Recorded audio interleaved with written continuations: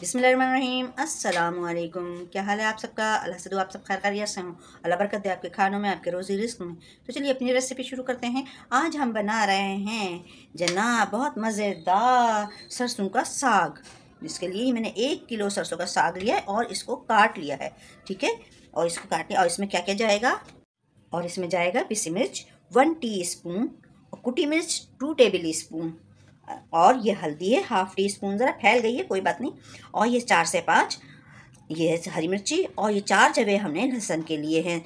और नमक, हंसब जाएगा अच्छा नमक मिर्च आप अपने हिसाब से कम या ज़्यादा भी कर सकते हैं, ठीक है? और इसमें लहसन अदरक जाएगा वन वन टी स्पून और जनाब ये है प्याज, एक बड़ी दरमियानी साइज़ की, मैंने प्याज काट ली है, और ये दो टमाटर, ठीक है?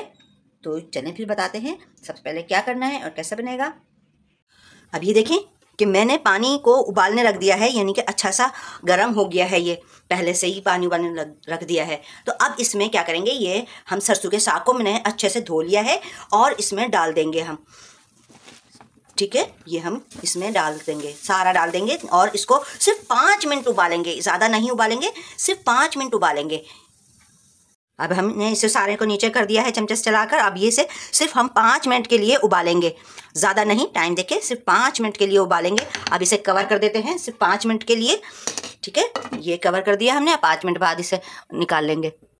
अब ये हमारे इसके पाँच मिनट हो गए हैं, अब ये हम इसे निकाल लेते हैं, क्योंकि अभी हमें दोबारा भी रखना है। ठीक है, इसे निकाल लेते हैं। अब हमने ये सारा खाली कर दिया, अब इसमें ही दोबारा हम इसको रख देंगे। है ना? अब ये इसका जो ये पानी फेंकने का, पाँच मिनट उबालने का मकसद ये था कि इसका जो कसेलापन होता है, अजीब सा टेस्ट होता है, बच्चे नहीं खाते, अब वो भी खाएँगे। सब बच्चे शौक से खाएँगे इसके कसेलेपन से, की वजह से बच्चे नहीं खाते हैं जिनके तो अब वो भी बहुत शौक से खाएँगे। ये अब हमने इसमें डाल दिया। अब थोड़ा सा पानी इसमें डालेंगे। ये हाफ़ कप हम इसमें पानी डाल रहे हैं ताकि ये अच्छे से गल जाए अब। और इसमें क्या करना है? ये अदर, लहसन है और जनाब ये है, हरी मिर्ची और नमक डाल देंगे। और ये इसमें नमक भी हम डाल देते हैं और कर देते हैं मिक्स इसको, है ना? अच्छे से मिक्स करके और इसको कवर कर देते हैं ये गलने तक। ठीक है? ये इस तरह से बनाएँगे, बहुत मज़े का बनता है। बिल्कुल कोई शनाख्ती नहीं कर पाता कि ये सरसों का साग है या पालक है। इसमें हालाँकि मैंने पालक बिल्कुल नहीं डाला, मुझे सिर्फ़ सरसों का साग अच्छा लगता है। और इसमें कुछ नहीं अच्छा लगता और इसे फिर कवर कर देंगे इसे दस मिनट के लिए ताकि ये गल जाए। ठीक है? अब ये देखें कि ये हमारा गल गया है अच्छे से। अब इसे ठंडा कर लेते हैं और उतार लेते हैं चूल्हे से और इसे ठंडा कर देंगे और फिर इसे पीसेंगे। क्योंकि अब हम इसमें घोट नहीं रहे हैं तो हमें जो है जल्दी है तो आप इसको अगर जल्दी नहीं है तो इसी पे घोट लें घोटे से और हम ये जल्दी का काम करते हैं।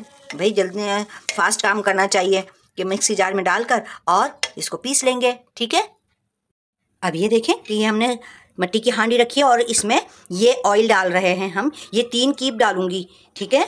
ये इस तरह से। ऑयल हमारा गर्म हो गया है। अब इसमें हम ये प्याज डाल देते हैं। ठीक है? अच्छा प्याज को हम कितना फ्राई करेंगे? ये आप देखते रहिएगा। शुरू से एंड तक मेरी वीडियो को देखा करें, ताकि बीच बीच में हमें टिप भी बताती हूँ, टोटके भी बताती हूँ। तो आप देखें कि ये मेरी प्याज लाल होना शुरू हो, नहीं हुई अभी। जब लाल होने लगेगी, गोया हमें गोल्डन फ्राई नहीं करना है। बस ये आप जान लें, मुझे कितनी रखनी है, ये आप देखते रहिए। अब ये देखें, इतनी लाल हमारी ही प्याज हुई है, सिर्फ़ मुरझाई है और कोई कोई लाल होना शुरू हो गई है। बस हमें इतनी ही रिक्वायर थी और अब हम ये इसमें डाल देंगे अदरक लहसन का पेस्ट है ना डिफरेंट बिल्कुल डिफरेंट है ये। बहुत ज़बरदस्त। अब इसकी छुनबुन ख़त्म हो जाएगी। ये है हमारे छुनगुन इसकी ख़त्म हो गई, अब इसमें हम टमाटर डाल देते हैं। सही है। और अब इसमें हम ये मसाले डाल देते हैं। कुटी मिर्ची, पिसी मिर्ची, हल्दी, नमक तो हम पहले ही उबालते में डाल चुके हैं, है ना? अगर कम पड़ा तो हम और डाल देंगे। सही है? ये थोड़ा सा पानी भी डाल देते हैं ताकि ये हमारा मसाला जले नहीं, भुने। ये मसाला हम भून लेते हैं। ठीक है? ये है कि हमारा ये मसाला भून गया है अच्छे से। अब हम इसमें ये सरसों का साग डाल देंगे। अब ये सरसों का साग हमारा ठंडा हो गया है। अब हम इसमें डालकर पीस लेते हैं। ये बहुत आराम से डालेंगे। अगर आप इसमें ना पीसे, ऐसे तो आप इसका ही पानी जो है थोड़ा सा बचा है, वो भी डाल सकते हैं। देख लेते हैं। ये देख लेते हैं, कि है ना, हमारा ये पिस सकता है या नहीं? थोड़ा सा पानी डलेगा या नहीं?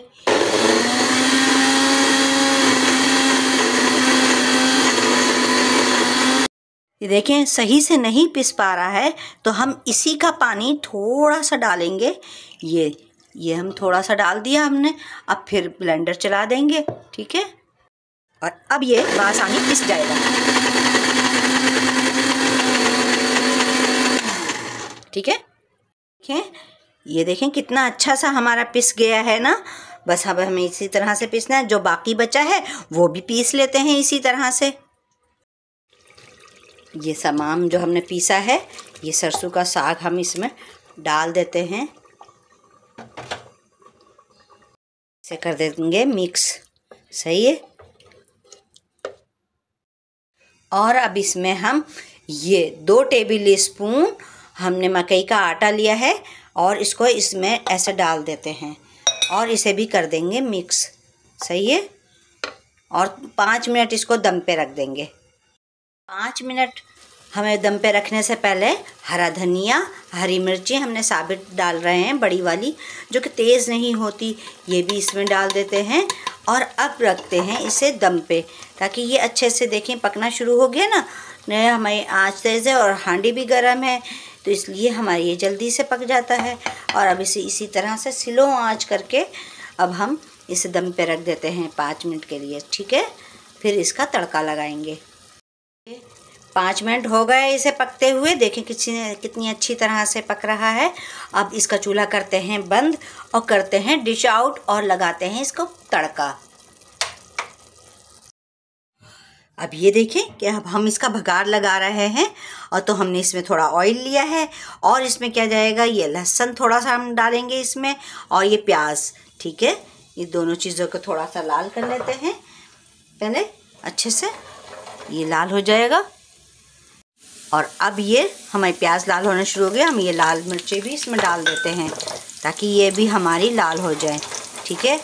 अब ये हम उस पर भगार लगा देते हैं अपने सरसों के साग पे।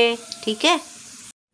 और अभी हम इसके ऊपर ये डाल देते हैं। और भगार हमने डाल दिया है बहुत अच्छा सा। अब ये है रेडी। सरसों का मसाले वाला साग तैयार, मज़ेदार। इस तरह से बनाइए और मज़े ले लेके खाइए। उम्मीद है कि आप लोगों को भी मेरी रेसिपी पसंद आई होगी और जितने मेरे चैनल पे न्यू देखने वाले हैं, उनसे भी रिक्वेस्ट है।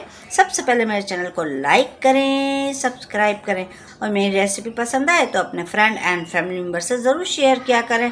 और अच्छे अच्छे कमेंट किया करें और मुझे दुआओं में याद रखा करें। तो चलें फिर अब हम ये खाते हैं और आपसे लेते हैं इजाज़त। इन अगली वीडियो में फिर मिलेंगे। जब तक के लिए अल्लाह हाफिज़।